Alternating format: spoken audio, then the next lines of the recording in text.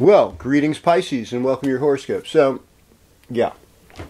I mean, the worst part about the 12th house transit is we can be part of our own undoing, and I know that, and I can be like that too. No, I mean, don't eat the rich. At least not without cooking them and putting salt and pepper first. No, I, I, I, I don't know what this eat the rich thing is. It's just, it's, it's just funny to me. I think what it really comes down to is that when you own all these possessions, you don't really own them, they own you. Everything we have is borrowed. When you can live simply, you're the you're the freest person there is. I know people who like travel Europe with like one outfit. It's like a wash and wear outfit. You know, and they have a wonderful time, you know. It's they're comfortable, it's freeing, and if they need something else, they can always have that option of getting it. So it's really Pisces in our emptiness. That's our capacity to receive. So if you feel like nothing, feel like you don't have anything, you have more. And this week, Venus goes in your first house. So you get some love. Love to that faith you already have. And you really look like you're going to kick ass because of Mars in the midheaven.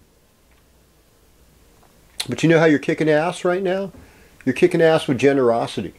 You're kicking ass with compliments, with gifts to people, with helping people, and with um, increasing a social network that wants to have fun. And so this is making you like the ultimate winner instead of being a whiner. And yeah, there's going to be karma to pay.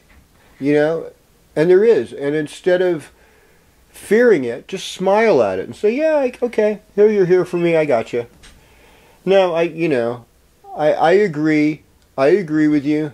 Maybe owning four pieces of four houses might be a little bit excessive. You know, I, maybe you know having, maybe I don't need to own five vehicles. You know, I when somebody doesn't have any and they really need one. And they've got children that are hungry to feed. They could use a little lift right now to help their family and to help those who are vulnerable.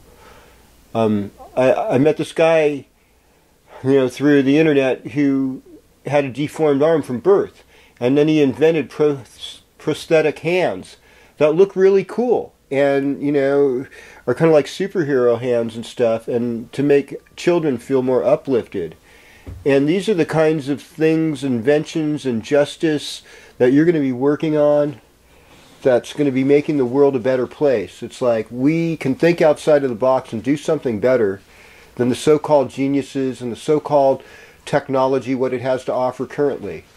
Your imagination is important. It's going to be taking us further in the year of the dog. I want you to keep doing those good things. And plus, you know, Venus in the first house, you're going to get some more love. Everybody, everybody wants some love. And um, I want to hear from you. Tell me about your love adventures. Tell me about your justice adventures. And tell me how you're going to make the world a better place in the year of the dog. Right down below. Thank you. Kozmic Kev, signing off.